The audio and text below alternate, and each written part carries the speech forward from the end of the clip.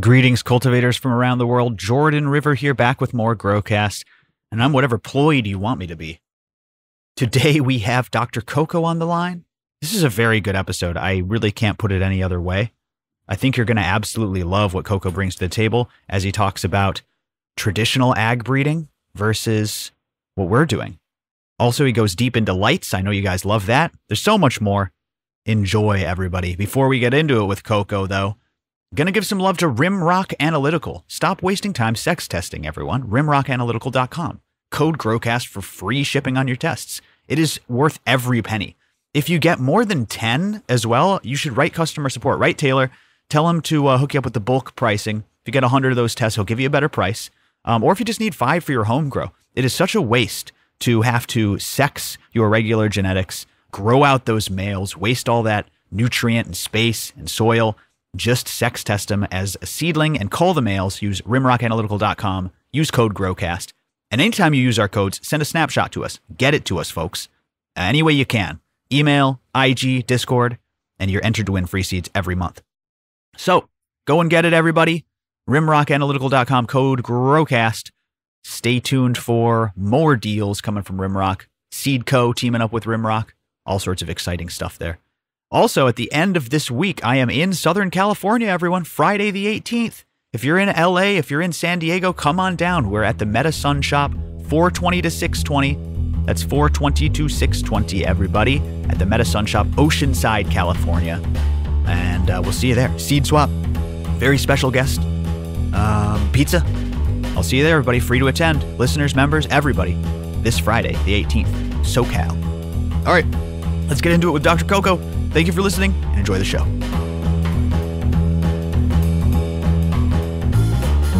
Hello, podcast listeners. You are now listening to Growcast. I'm your host, Jordan River, and I want to thank you for tuning in today. Ooh, excuse me. Before we get started, I urge you, as always, to share the show. Spread Growcast, tell a grower, get someone new growing. That is the ultimate goal here at Growcast and the Order of Cultivation, our membership program. If you haven't checked it out, go check it out. Growcastpodcast.com slash membership hundreds of hours of bonus content, personal garden support, and most of all, community like you wouldn't believe. Today, today, today, we have. Oh, we're in the middle of breeder feature February. While this isn't necessarily a breeder feature, we're going to go deep into testing and genetics from a very interesting perspective. You know him, you love him. Dr. Coco is back. What's up, Dr. Coco? Hey, Jordan. I'm happy to be back. It's been a, a minute since I've been on the show. I'm happy to reacquainted with the the wonderful Growcast audience out there. It has. I am Dr. MJ Coco from Coco for Cannabis. it hasn't been that long. Calm down, Coco. And for the me- and, and, for the members, you've seen them on Growcast TV. Love those Q and A's live. Those are fucking killer. Oh yeah, we should do another one of those. Yeah. So so it has been a minute for just the pod the average podcast listener though. So um welcome back. What have you been up to, man? I know you've been hard at work with the website, with uh, testing lights. What have you been doing? Absolutely. Um, yeah, I've been testing some interesting lights. Been you know setting up my own grow again. I'm growing with the the New Year's Grow Challenge we got going on at Coco for Cannabis. Put together my four by four tent again, so I'm, I'm sort of staging back up to to run that four by four grow for this NYGC, which I should have already done at this point, to be honest with you, since it started on New Year's and it's already February now. But you know how plants grow. I'm sort of going with them. Um, have been busy testing lights. I'm producing videos. I did a a cool video at the beginning of the year, um, reviewing the the nine five by five fixtures that I had tested in the past year, and it was interesting. I sort of first time I did a, a comparison video like that it seemed to go over well, and has helped me kind of think about how to refine some of the ways that I approach my my reviews and analyses.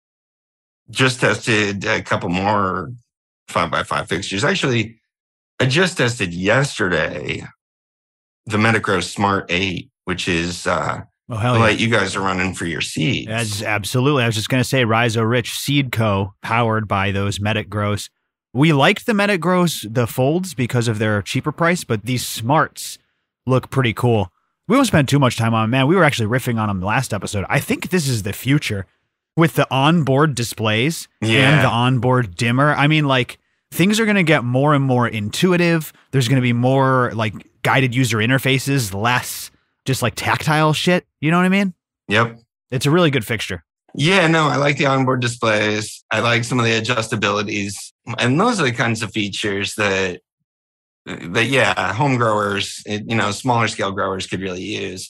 And some of the companies that are primarily thinking of their audience as, you know, large commercial facilities that are going to be running a thousand of these or whatever, they, they have a, you know, a, a different set of needs. to get me running them all through a controller and all the rest of that. So it's a cool fixture. I, I, like the the finish on the Smart 8. It's a lot nicer than than sort of the the Fold 8 or the Easy 8, the other two fixtures I tested from them.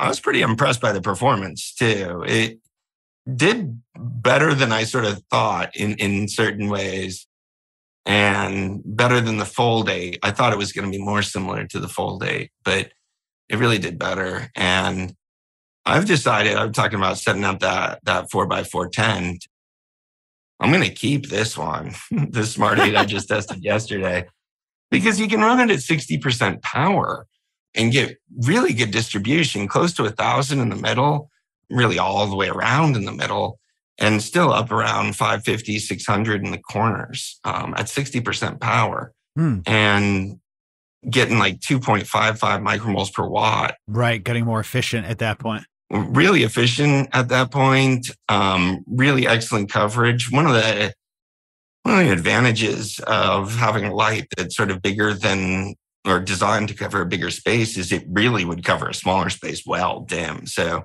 it's meant for a five by five coverage area, but it, it almost is four by four. So when you dim it down and, and, cover it in that smaller space, the edge readings are almost wow. as good as the the center. That's very cool and I know that like and push back if I'm wrong about this, but you take a look at these new fixtures, you take a look at the ones that are like, you know, approved by you, people like Shane who test these things. They're all pretty close in that range of efficiency and stuff, right? So so to get the smart, which has a lower price point, and then like I said, man, I really think down the road the difference is going to be the usability, the interface. Yeah. Because they're all pretty close. Like I know you get into the power map shit and you'll be like, yo, I might not recommend this brand. But as far as the high end ones, like they're all pretty damn close to each other, right? Yeah, and you know, like the the distributional differences among the the bar array fixtures, like how how well they distribute light, is minor. I mean, they all do a pretty good job of distributing light. Right. Some of them do do a, a slightly better job, but that's one of the main performance features that you're looking at. The other is efficiency, and yeah, they're all all pretty close. So then it comes down to uh, a matter of cost. Now, when you put all that together, you, you, can certainly tease out some better values and some some not good values. Sure. Well, certainly the thing about the the Medic Grow fixtures, and I mean this has been true ever since I started testing it. I was so blown away when I tested the Fold 8 at first. It was 36 cents per micromole when like the next best fixture I had tested at that point was like 49 or 50 cents per micromole. Exactly. And that's because um, of the um, price point. That's because of the the several hundred dollars. Yeah. So yeah. it comes down to to price point and understanding sort of what you're getting for that. And that's why it's important to understand the performance and understand the efficiency. You understand something about the components of a light. So, you know, like the diodes aren't just being massively overdriven, although generally that would show up in in the efficiency data as well. Hmm. I definitely think, you know, I'm always surprised by every time I test a fixture, I, I, I never know what I'm going to think about it until I'm done testing it. I can't even start like sort of writing my review or anything on it until I'm done with the tests and, and sort of have time to analyze the tests. And there's always something that's either better than I expected or not as good as I expected or mm, mm, sort of damn near surprising. And it's interesting to me how much that's still the case. Damn. I was pretty surprised how high I had to raise this Smart 8 in a 4x4 space at an 80% dimmer. Um, the hanging height was 66 centimeters to get uh, a 1000 micromole density in a 4x4 space. So to get it down to sort of at 80% on the dimmer. And that was just I, I, don't know. I'm I'm I wouldn't have predicted that it would have been that high. Wow, power powerful fixture for the lay people. Yeah, well, even based on the 60% reading. So at, at 60%, it was pretty much at that thousand at, at 12 inches. But the edges and the corners had some room for light to sort of spread into them. But so I went all the way from 30 up to, to 66 centimeters to keep the same PPFD, the same maximum PPFD going, Going, from 80%. from 60% to 80%. Okay. Yeah, I follow. Wow. Very, very interesting, man. Uh, yeah. And every time you sort of run a test like that, and you know, I see how the light behaves and see how it spreads into different parts of the maps at different heights. You know, you can always sort of figure out why it happened that way. This is the stuff that I get off on. This is what I really enjoy about doing the light tests is interpreting the results and and thinking about them. But to get back to your your basic point, yeah, most of them do a pretty good job of sort of getting decent coverage out. You're looking at you know some differences in terms of what spectrum they may provide or sort of how much they supplement the spikes in in the red and far red. You're looking at sort of a, a nexus of things in terms of diode brand quality number and efficiency all sort of relate to each other that you know goes together with sort of how long the fixture will last um, and how efficient it's going to run. Yeah. that and the, the the distribution i think are the main things to sort of understand how much how much light a, a fixture produces. And then you know you divide it by the cost. And so those numbers that i always talk about and they're usually in the the pennies per micromole. Like the this smart 8 came to 29.8 cents per micromole so we round up to 30 cents per micromole which is now the the sort of the record a lot of fixtures are now in the 40 to 50 cents per micromole or whatever and that's a really good way, I think, to think about sort of the value of the different lights once you're getting. But you do have to make sure that the I other like that. boxes are checked. Well, I mean, and you know, not not a full episode of Medic Grow promo code Grow yeah, Pro code Growcast. Uh, I like how they stack on deals too. So grab one. I can understand that lower price being a huge benefit. But I will say this while we're on the topic again. Um, if all those things get equal, right? Like I'm thinking about the future of grow lights. I'm Right. thinking about uh, if we accomplish our goal and get you know everyone overgrowing the nation, all these home growers. Man, I think the light company that does it best is going to be the one that has that easy to use iPad style. Like, what about grandma who's growing, right? Like, we need, I'm sure Yeah. there are a lot of people who love to dive into the PPFD, Coco, but also there's going to be people who just want a button for sunset mode, a button for flower, a button for veg. yeah, they want something that works. Is that where we're headed? They want something that works. You know, I think a lot of people that like watch my videos don't even want. I mean, there's some people that nerd out on the numbers like I do, right? But there's some people that just want to be told, like, yeah, no, this is what you're looking for in a grow light, and and this this Yeah. works, right? And this is the density that you need. It's not that they don't care; it's that they don't really want to understand the the science of PPFD and all of that. That that's totally understandable. I still do think that that you know they want to know is this one is this a good one that that's going to give enough light or or you know what what they usually say is be bright enough and and that's not really the right question but i understand what they mean but yeah they want something that, that's easy to set up i think that that's another consideration right like is this something that i can physically sort of maneuver and manipulate or is it going to be too big and i'm going to need help so that and then is it easy to run and use and do i know how to run and use it do I know sort of how high to hang it and how powerful to to run it? And I, I try to explain that about the the lights that that I test. I, I you know it would be nice if manufacturers would provide more of that, but it would also be a little bit hard to believe oftentimes, sort of because manufacturers have such a marketing angle that they they need to sort of drive in their materials that you know, good, honest advice about how to to run the fixtures can take a back seat to sort of the marketing imperatives of making the fixtures look good. That's a good point. Yeah. I just wonder how far we are from this like vertically integrated grow system where you're no longer changing a timer or even necessarily like altering your, your what we know as a controller to switch to flower. It's literally just an icon button like an app. I think that we're just uh, you know what I mean or well, this or, yeah, or the your light 8's the first fixture that I've tested that almost has that built right in. Right, they have a switch. You can leave the timer on off if you want it on twenty four hours, or you set the there's a built-in timer. You set it on the 18 hour setting and it'll go on for 18 hours and off for six. Veg button, flower button. Yeah, and then there's a 12 switch. So it, it requires a little bit of an interpretation, but that the functionality is built into the light. And I think that for for growers that are running single fixture grows like that, for home growers, I I, I do think having that there's a line though, eh, you know, and it took a while for like home theater systems, home entertainment systems to cross this line. I think you and I probably grew up through most of this where, you know, people were having mm, 17 different remote controls to control each individual appliance. And if you wanted to watch TV, you had to like change the setting on three different appliances and turning them all on. And there was a big sort of curve to overcome before people were willing to to engage with that. You're so right. Yeah. And that's the same thing with, with sort of automating and integrating a grow. I've been talking to DJ from GrowTech, um, who's designing this automated monitoring system.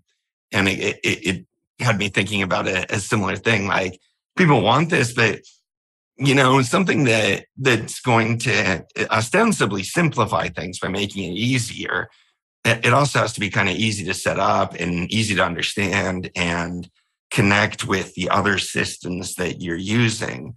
And if it's not, that's really going to sort of limit the audience for, for those products or that style or that method or whatever it is.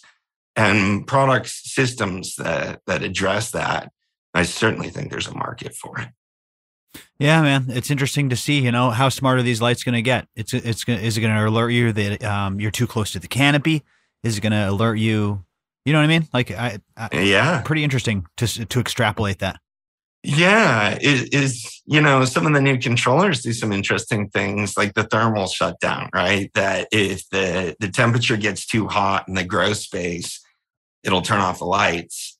Right, and the idea behind that is primarily to save the plants. Right, because the assumption is it's getting too hot because some aspect of the climate control system failed. And if it gets too hot under intense light, the lights are also adding heat. So the lights are like, hey, look, you're having problems. We're going to just stop contributing to them and we're going to turn ourselves off.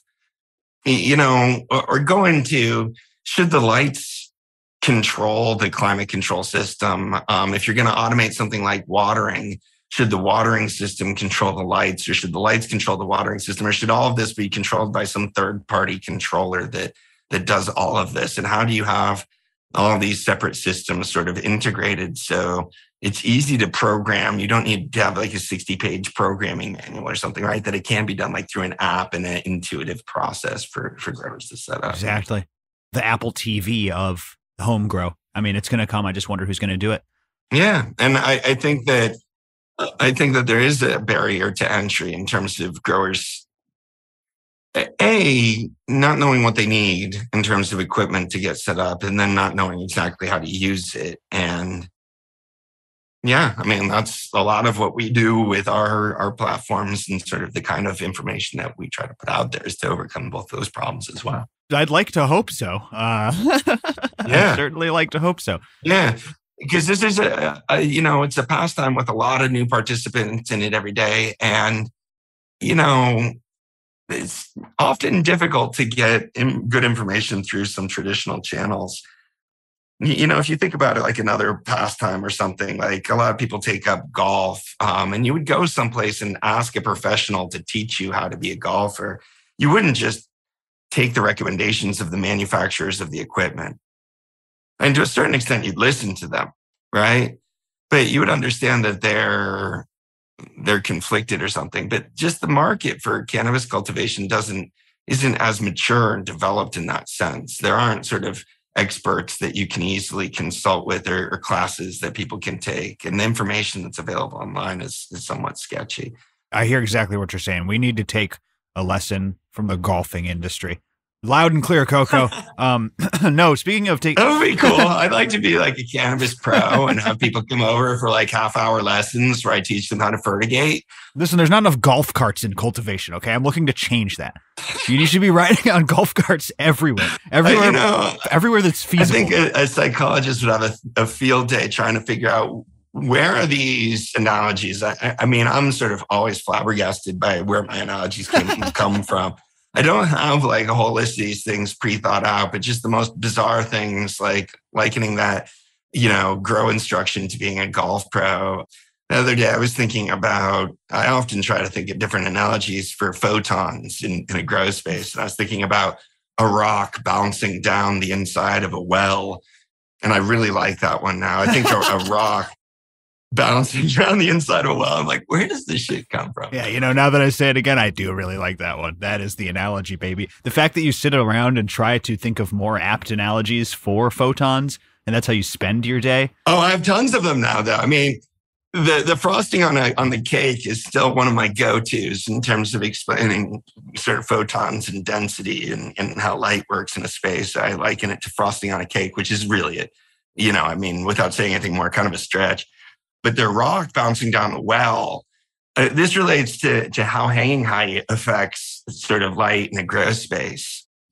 Basically, it doesn't. So, like, the rock still gets to the bottom of the well, right? Like where mm-hmm. your plants are. It, it might bounce off the walls more. If the well's a really deep well, it might bounce off the walls more. But assuming that you have a grow space surrounded by reflective walls, almost all of the light is going to get to the bottom of the well. Right. Nothing else really happens to it. Now, each time the rock hits the wall, like a tiny bit kind of like chips off. And that would be like the reflective losses. And that in a light analogy would be sort of the heat that dissipated. But like most of the rock gets to the bottom of the well. Oh, fascinating. So it's like a softer rock. It's chipping every time it, it hits just a little it bit. Just, you know, it's actually not a very soft rock. I mean, we're losing, you know, 10% maybe on, okay. on each bounce. So yeah, somewhat soft rock. And most of the rocks don't hit the wall at all. They'll just drop straight, you know? And you'd have to imagine rocks that don't collide with each other. So if you're dropping like a whole bucket of rocks down the well, which is kind of what we're doing, they're not going to collide with each other. like that just doesn't, it's hard for two photons to sort of hit each well, other listen, in space. It's not a perfect analogy, but I like it. It's not, yeah, in that sense. So if you can imagine that they just uh, avoid each other, there's no sort of chain reactions where rocks start hitting each other and throwing other ones off their trajectory that they were otherwise on. But if you dumped a whole bucket of rocks down the well, some of them are going to bounce off the walls. A few of them may bounce off the walls several times because they get a funny ricochet and they start just back and forthing it down the well, right? Most of them just going to drop to the bottom of the well. So, you know, when you're thinking you lose 10% on each bounce, the, most of the photons don't even bounce. Oh. Most of the photons fall directly. Well, I guess that makes sense too. Yeah, it, it, depends on the space and other things now. So the analogy kind of holds. And I think it's one way to help understand what happens. If the well is only a foot deep, like your light's only a foot above the plants and you drop a rock, it's just going to land right there. Right. Um, if you drop a whole bucket of rocks, you're just going to have a pile of rocks right there. But if the well is 100 feet deep and you drop a whole pile of rocks, you're going to have a really sort of even distribution of rocks at the bottom of that well, right? You're not going to have just one pile. That's what happens when you raise the hanging height in the light. That is that the light sense. becomes better distributed. The vast majority of it still gets to the canopy, but it's better distributed than it would have been if you had been closer. I totally understand that through your analogy. Thanks to Dr. Coco's analogy. Yeah, sorry. It makes a whole lot of sense. So we went from an, a, a, totally unrelated analogy to sort of my pontifications of analogies in general, and then yes. I, I, launched into that one. But yeah, that's just, this is the weird that's way. That's a good one, man. Anyways, it's all related. Hopefully, I like some it. Stuff that we were supposed to talk about. It's related to something. No, uh, that was that was definitely um, again. You it really it really helps us when you talk about these different things or you know the way photons behave at an angle and or or like skipping off you know a stone skipping off water. All of these things help people like me understand. So we do appreciate it. We were i had a good lead in. I had a good segue to this but i mean listen i'm just gonna tell it like it is. But, but we're over 20 we're over 20 minutes in and I, we're now starting the main topic of this episode. Hey that's how we love dr Coco. hey i think that's pretty good for yeah, us it's actually yeah it's actually a new record i think. No i love it man. You know i love it We'll be right back with Dr. Coco, but before that, Plant Revolution, baby, the makers of Great White. What wonderful supporters they are of this show. We're doing some giveaways here in just a bit. And you guys love these products, man. You got the Great White Myco. This is their Myco powder. Lots of great Mycos on the market, but Great White is an OG in the game. Not to mention, I believe it's water soluble. I didn't know that about the Great White Myco. You can mix it into water. I need to verify this, but I just saw a, a, rep, a rep recommending this. So there you go, everybody. There's also the liquid myco if you just rather grab that. That's the Orca, and it has a few strains of beneficial bacteria in there as well. There's a couple little goodies in that Orca that really make it my favorite. I found myself applying that this last run more than anything else. Um, also, the Myco Chum, which is food for your microbes. It's a high quality molasses uh, combined with a few extra goodies in there, some micronutrients, a couple extra inputs, secret sauce to make your plants extra vigorous, extra happy, and feed those crobes, baby. That's why the plants are praying because you're feeding the beneficial biology, the beneficial fungi, the beneficial bacteria in your soil with Great White's Myco Chum. Find them in your local hydro store, find them all over the place. They're great friends of the show. Try the King Crab too, such a clean product. I love it all. Again, the Great White line by Plant Revolution cannot say enough good things about these folks. All right, let's get back to it with Dr. Coco. I had you on today for a specific reason, man. We're doing this. Um, we're doing this breeder feature February, right? We're talking about. Yeah. We're talking about uh, lineage. We're talking about testing a lot. Testing has been coming up. How does traditional ag breeding uh, differ from what we do here as cannabis breeders?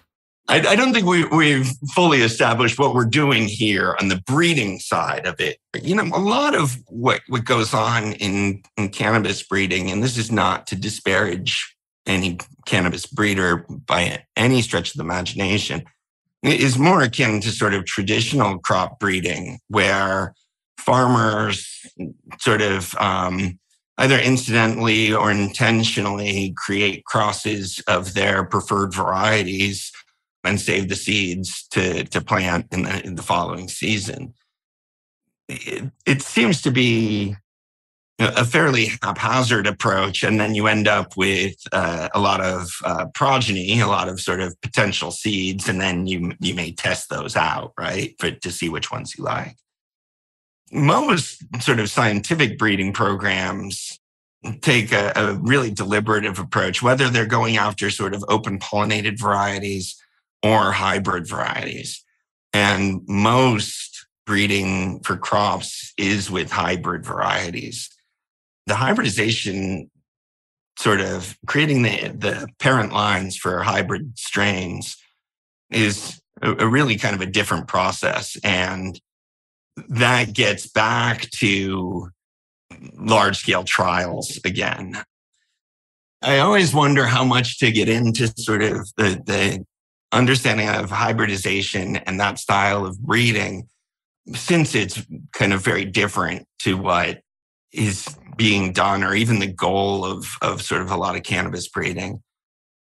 In a hybrid breeding program, or if you're going to make hybrid seeds, you want to get two unrelated strains that, that are homozygotic for most factors, and then you cross them.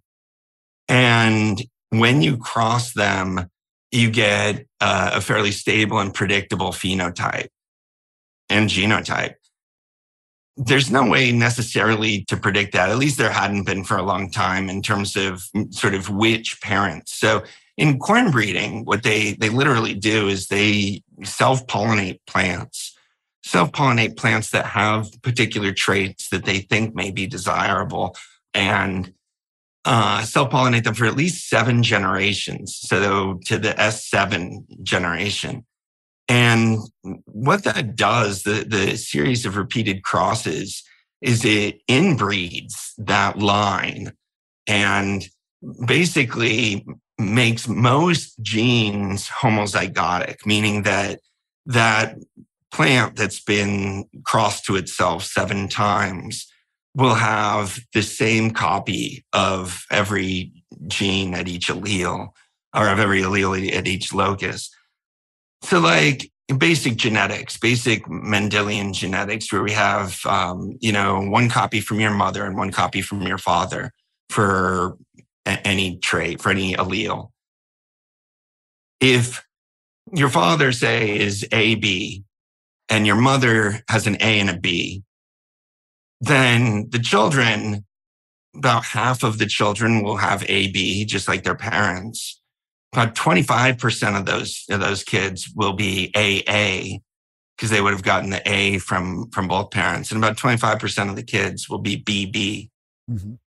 Now, when you multiply that across thousands and thousands of different genes and loci for, for these, these chromosomes to pair up, you know, that's what creates difference. That's why you look different than your siblings. That's why, you know, the same two parents can have children that, that look, act, behave, have different sets of genes. They're not genetically identical. But if your mom had AA and your dad had BB, every single child would be AB. Every single child would get an A from the mother and a B from the father. Oh, wow. Right? So when your parents are homozygotic, meaning that they have two of the same copies, that's the same gene at, at you know, both copies are the same. So they have an A and an A. They don't have an A and a B. If they're homozygotic and you cross them with another homozygotic individual, the offspring will be heterozygotic and predictable. So every single offspring will be AB, AB, AB. Now, there's a lot of things in genetics that have heterozygotic advantage. There's a whole term for it, heterosis, which refers to hybrid vigor. And that's because there's a lot of sort of deleterious genes that are recessive, things that are really bad if you get two copies of them. Mm. So, like a good example from, from humans is sickle cell anemia. It's a, a disease common in the Mediterranean region um, in Northern Africa because it, if you're heterozygotic, if you have one copy of the sickle cell trait, but not two, then you have an advantage against malaria. You're less likely to develop malaria. You're less likely to catch malaria. And if you do catch malaria, you're less likely to be severely ill from malaria because it alters the shape of your red blood cells enough that malaria has a hard time attacking your blood. That's an advantage for heterozygotic people. If you don't have any of the traits, then you have normal blood cells and you can get malaria. If you have two sickling traits, then you have full blown sickle cell anemia and it's probably going to kill you. Um, so being homozygotic for it is bad. Not having it at all is bad if you live in a malarial zone, but being heterozygotic for it has an advantage. The only way you can predictably get heterozygotic offspring is if one of the parent was homozygotic for the deleterious or for that, that trait. And the other parent didn't have it at all.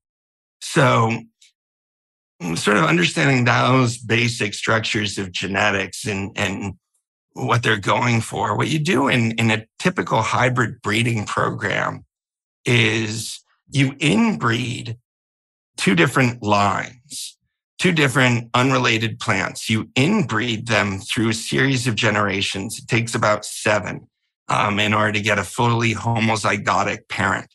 That homozygotic parent is often a weak, sickly individual. Hmm. Uh, it doesn't have a lot of vigor. It often doesn't have the trait that you're even going for anymore that you were trying to breed for because that trait that you're you're trying to breed for may have only existed in the heterozygotic state. Sometimes plants uh, become sort of some of the deleterious recessives mean that they're not viable, and after five or six crossings, some of the the individuals aren't viable. Um, some of the the parent strains for the corn seeds that that farmers grow today are weak, sickly plants but you get them to that seventh state step, as long as they're still viable, then you cross them to another plant that's gone through that same process. And doing that inbreeding to create homozygosity, it, it basically makes everybody have two copies of the same trait at every locus for at every chromosome. So you, you have AA at one and then BB and then CC and then BB and then AA and then BB at, at every site. And when you split that apart during meiosis, the sexual reproduction to create the, the gametes to, to do the, the reproduction in plants, it would be the, the pollen or the, the, uh, the female flower. You, you get the same copy on each side when, when those chromosomes split. And then they recombine with another homozygotic set. And every single individual from, from that cross will be identical and heterozygotic instead of homozygotic like the parents were. That creates predictable strains. So farmers in Iowa can buy a bag of seed and plant it on one day and know that those plants are all going to mature at about the same rate, that the ears of corn are all going to develop at about the same height on the plant, and that they're all going to be about the same, you know, size and all the rest of that. They can establish that real consistency because the individual seeds are genetically identical to each other. They're identical not through sort of a cloning process. They're identical because they're they're the the F1 generation from to P1 plants that are inbred and homozygotic. Okay, I got to shut up now because I've been going for a really No, I think I definitely have a better understanding now. So that's a traditional program for like a hybrid seed, like hybrid maize and you know soybeans, wheat, what have you. Most of these crops are grown that way. One of the reasons that seed companies like hybridization is because that heterosis, which is the hybrid vigor, essentially those plants where the, the mother had AA and the father had BB, they're all going to be ABs. None of them are going to have a deleterious recessive allele. And the, the weeding out of the deleterious recessive expression creates a, a healthier, usually more vigorous organism. This is something that biologists notice across all walks of, of life generally, um, across different organisms, across animals, plants, bacteria, all sorts of things. When, sure. when you cross two distantly related organisms, the offspring Are generally vigorous. have a certain advantage. They, they have more vigor. That is fascinating. Why don't we try to tie it back to what's going on in cannabis, though, then? Because it sounds like that's not really occurring anywhere like a 7BX corn cross? Well, I'm, I'm sort of getting there. Okay. The advantage to the breeders to doing this is they can control the parents. Those parent lines that they use to make like the wheat seeds and the corn seeds are high, closely guarded trade secrets and intellectual property. And farmers aren't successful at saving their seeds because the, the F2 generation lacks the hybrid vigor. So the reason that the entire seed market for wheat and corn and soybeans and every other commercial sort of valuable crop has, has gone the route of hybridization is because you can control the genetics. You can, even if you give farmers the seeds, they're not going to have success saving those seeds and replanting them for the next year. It, they'll, I mean, they'll grow, they'll be viable, but they won't be as good and they won't be as consistent. And therefore, it makes more sense for the farmers to just buy them again fresh each year from the yep. seed supplier. And that's that's sort of the angle in cannabis too. I, I do expect that process to come into cannabis breeding. I do expect somebody to create a highly successful hybridized cannabis plant done through that inbridization and cross and they're going to land on something. It's got to be a process that happens almost like striking gold because you're going to take two sickly plants that, that don't look like they're going to have much potential and cross them and, and be hoping to sort of strike gold with it. But I think there's an opportunity for that in cannabis, anyways. And if you created those seeds, you'd be able to control them. People could still clone that, but they wouldn't be able to make seeds that had the same characteristics as the parents. Wow. The other thing that, that this sort of getting into the genetics relates to cannabis is the process of selfing and sort of the process of creating seeds. To be aware that you know an s1 or an s2 is not the same as the parent. Right. That would be there's this genetic recombination that that takes place. Yeah why is that? Well say you have a and b in a simple or simple genetics example right you have an a and a b and you are going to be both the egg and sperm donor so when your genes split to make the sperm, say the sperm ends up with a B. Okay. You get either two sperm, one gets an A, one gets a B. You also get two eggs. One gets an A, one gets a B. Oh, wow. But if, the, if your B sperm matches with your B egg, you now have an offspring that's a BB. Okay. Whereas the parent was an AB. That makes a lot of sense. It, differentiating between the seeds, therefore leading to variation. Right. So when you're both the pollen and the, the egg donor in that case, right, then, you know, your genes are recombining in, in that classic Mendelian sense, where if you don't have the, the same gene at that locus, um, you can get that 50, 25, 25 split. Wow. That makes a lot of sense. I mean, I, I guess I, yeah, that's just a really good way to, to paint that picture. Yeah, I think that good. I think we got to a point that hopefully a lot of a, a lot of you know breeders or people that are picking up cannabis breeding can benefit from there and sort of understanding what happens when you self things. You're recombining the genetics. And unless it's homozygotic, you're going to have a mix in the offspring for any given trait. About 50, assuming a heterozygotic parent, if you self it for any given trait, only 50% of the offspring will share that same genetics. Wow. Will share that same sort of combination. That is fascinating. And you're right. I've heard I've heard growers say, you know, I uh, I don't have a cut, but I have an S1, and it's like, man, that is not the same thing. I mean, maybe if you if you have no other choice, right? The thing about an S1 is you can throw it in a drawer for decades. You don't have to keep it alive. So maybe if you get a lot of them, right. maybe one day you can hunt something very very similar Right. But man, treating it like a clone. And maybe you're thinking to yourself, well, 50% of the plants are going to be just like the, the parent, but no. That's per trait. Just for that one gene. There's, exactly. there's thousands of genes. So each one of them, you know, and, and having the one that lines up exactly with the exact same genetic profile as the parent is going to be astronomical odds. You can get really close. You know, some of them will have the same combinations of genes that matter or that matter the most. Yes. But yeah, you're not gonna you're not gonna get this would be like asking a person to sort of reproduce with themselves. How many times do you have to do that before you're gonna get somebody that looks exactly like you? I don't know, man. And is exactly like you. I re- I reproduce with myself a lot. When Mrs. River is out yeah, of town, it's it gets you know. it, I was about to say it's too bad humans can't do that. And I'm like, no, no, it's not too bad. It's actually a really, really good thing that humans can't do that.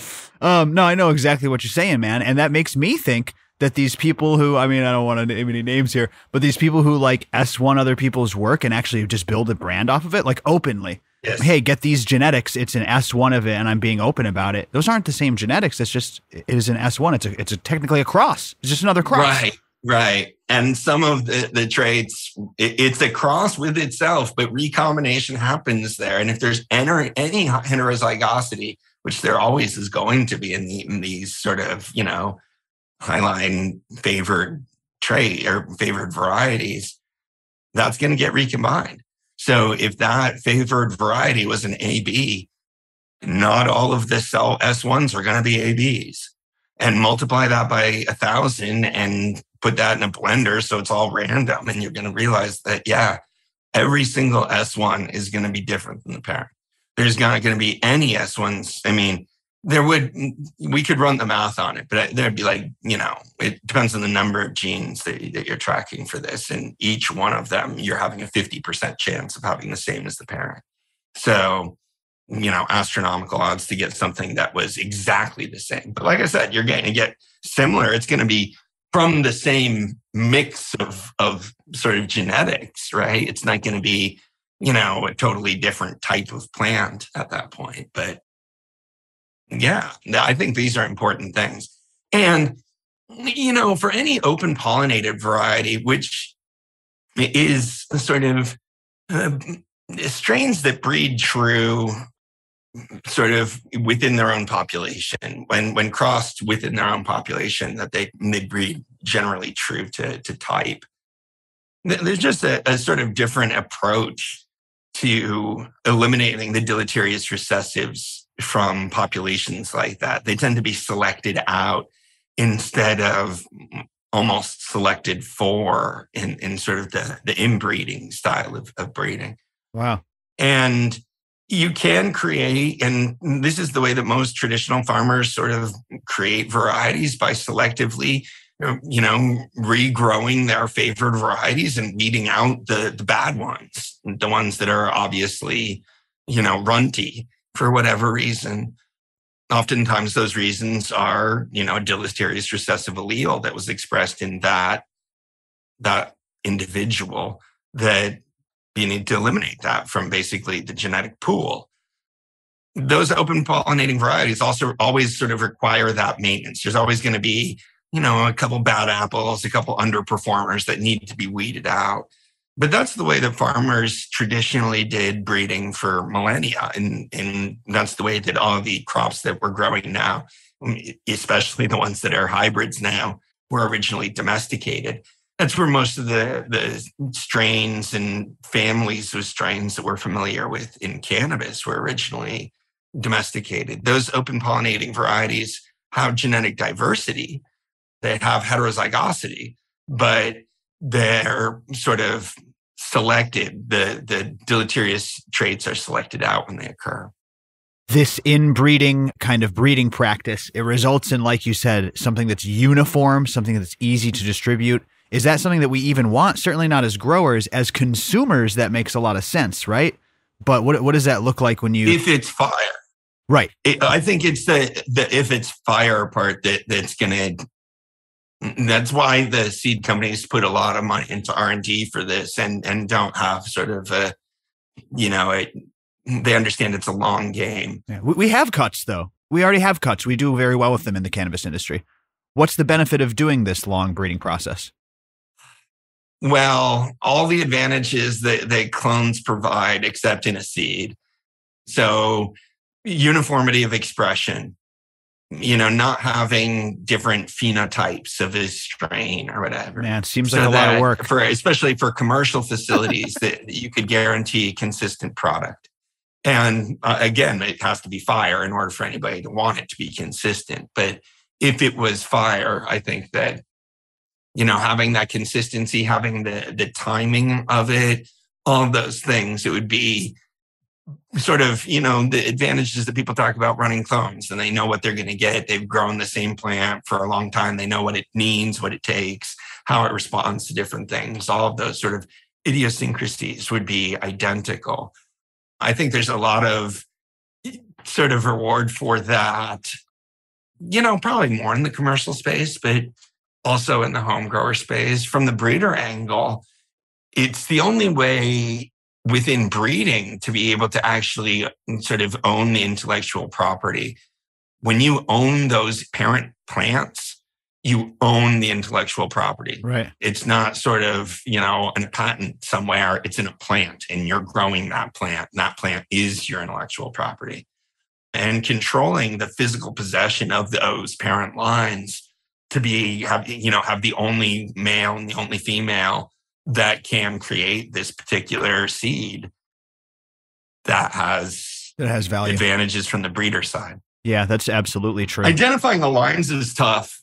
And, you know, in most big agricultural sort of breeding programs, they do the pasta at the wall technique for this. I mean, they start a lot of plants, they self a lot of plants out, and you don't know what you're going to get at the end of it you can't judge it based on the the sort of growth characteristics of the inbred plant. You have to wait until you get it back to the the hybrid. And you know, a lot of casual breeders would give up at that stage because by the the fifth or sixth um, back cross, it, you know, you might be displaying some weird traits. Looking at a garbage plant. You're going to be what you're doing is you're forcing the plant to become homozygotic, which is going to force it to express some deleterious recessive traits that, that it's accumulated. So it might start herming on you. It might do other things. And you're like, no, I don't want to do that. You got to like push through that, understanding that this, this plant has genetic expressions that aren't going to be in the F1 generation after you cross it to an unrelated plant. Really interesting stuff, man. Again, I, uh, there, there's a lot of testing talk that's gone on this month. I'm just trying to expose the listener to as many different angles as possible. Yeah, well, and, and I think the whole Mendelian genetics thing is another reason why testing is so important. When you do any cross, unless you are totally sure that the parents are homozygotic, you know, there's going to be variety in that F1 generation. Totally. And it's important to sort of understand what the variety is and what the range of, of sort of potentials are and sort of doing those, those grow tests, see how consistent it is. Um, you know, is the genetic diversity that's going to exist really important in such a way that maybe you should explain that or, or continue working on that? Or is it a pretty night, you know, tight knit range where, yeah, I see some differences between some of these plants, but they all share a lot of the, the characteristics right. that we're going to advertise that's in this strain. No, that's that is a really good point. Man, we could go much further on this. I want to get your take on one more thing, and then unfortunately we have to wrap it up due to time constraints here. Okay. Did you see the Dark Heart Nursery triploid cannabis not being able to pollinate. Have you seen this? Have you heard about this? Tell me you've seen this. I, I think I'm, i yeah, it, it's ringing a bell. Let me just pull I'm, up the article here. Uh, Dark Heart announces world's first intrinsically seedless cannabis for commercial growers. The the trademark is Pistol Guard seeds. It's a triploid, which I listen. I'm going to say this, and then you're going to correct me. My understanding is that triploid plants what can't be pollinated the same way, so you don't have to worry about like pollen drifting over. It's pollen proof cannabis essentially. Okay. The development of triploid seed varieties has been a huge step forward in many commercial crops, including watermelon, banana, and apples. Uh-huh. Like seedless watermelon. You know what I mean? Uh huh. And you can also you can also control the genetics that way, right? Uh, well, you should be able to. Yeah, no, I'm not familiar with this from Dark Heart Nursery, so that that's that's an interesting approach. I think next we, episode. I'm trying to place our conversation on this. We were talking about different paths to potentially make seedless varieties, right? Is that the conversation? I think we may have. Yeah, that that does ring a bell. But this is brand new. I think this dropped. uh Yeah, this dropped January 31st. We got to tease it, man. Well, I'll shoot you this article and um, yeah. So I'm wondering how they deployed that, particularly in in this so everything we've been talking about has been, you know, you get one set from your your mother, one set from your father, and that creates, you know, if you get the same copy, you're homozygotic. If you get two different copies, you're heterozygotic. All of that, that uh, uh, assumes diploidy, right? That you're getting one copy from each parent. So triploid is you have a third set of character of of chromosomes. Um, you would essentially like have a third parent um, sort of think of it that way but that's not exactly how it works. So uh, I'm, I'm wondering sort of how they deploy it, it, makes sense that that that would be a method to cut off reproduction. How they deployed? How they deployed the diploid? Are they deploying the the triploid right yeah. Um, yeah. I don't know, man. We'll have to. We'll have to so I'll get. I'll, I'll have to look into that. Um, but that's basically what I can what I can say about that off the bat. I do think that there are ways to to breed for seedless varieties. Yeah, usually by yeah going after female reproduction angle on it that's always been the the weird part to me about cannabis. It's the only crop that I'm aware about that growers generally try to get seedless by eliminating any and all sources of pollen. Most of the time that we we breed for that, or if we bred for it, it would it would go through the the female reproduction and making that sterile or making that uh, more impotent so that is a funny thought. That is a really funny thought. Yeah, it's a funny thought I've had a lot. And it is an angle that I think there's room for, in terms of sort of advanced breeding. And there's a, a whole lot of, of stuff that they could do with genetic engineering and with CRISPR and stuff. And it, it'll be interesting to see if that's the direction a big segment of the cannabis market takes. Oh, for sure. There's a big pushback to doing some of those, you know, big engineering projects with, with crops. And I'm wondering if there's overlap between the, how much the overlap is between the sort of the anti um, engineering movement and the cannabis movement, or how much sort of agreement there could be. Because the that does sort of open up different angles to what cannabis would be in the future. If somebody really engineers it as a fundamentally different plant that has significant advantages over it and is able to own the, the genetics of that improvement, that could completely transform what we know of of sort of the cannabis seeds and, and genetics market hey man the more the merrier do your thing. As long as growers home growers can get their hands on seeds and genetics easily i'm fine. Do whatever you're going to do with your crisprs and your diploids and triploids and whatever. They're all yours. Just make sure that the growers can get seeds and i'm fine with that. Yeah and you know i think there's always going to be a market for people that wanted to do that want to do it differently and want to be sort of more connected to their breeders and all the rest of that too. So no matter how cannabis evolves I think there's there's going to be a, a, healthy craft cannabis market and growers for that. It'll be interesting to see if if those values are sort of able to be more dominant in the industry writ large, though. Can we do an episode on CRISPR, like and and it like more about how it's uh, how it could impact the cannabis world? Sure, absolutely. At the that. great risk of um, recommending another podcast.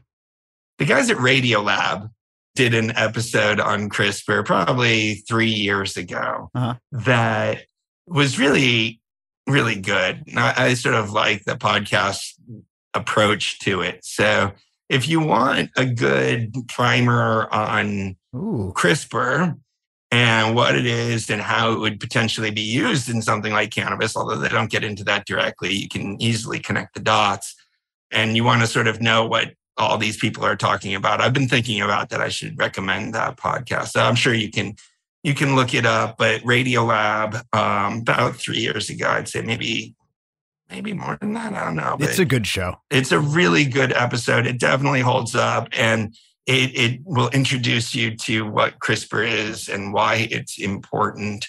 But yeah, I'd be happy to to talk a little bit more about that. Um, you know, we can pick up some of the threads that we started laying down here with some of these other things Perfect. too. I I always feel like I get carried away on something that I think is interesting, and hopefully the audience does too. but then I feel like semi guilty leaving these shows. I'm like, oh shit, I didn't talk about what Jordan wanted me to talk about today. No, not at all, dude. I got well. Let me be candid with you. This is one of the greatest episodes ever. I feel, especially when it comes to the science side. You know, when we have you on, that's what we're looking for.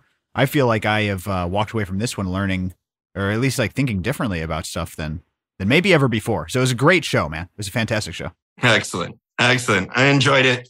I, as always, Jordan would be happy to come back. Fuck uh, yeah, Growcast TV next, baby. Get a, get up in yeah, membership, we could, do, we could do some Growcast TV.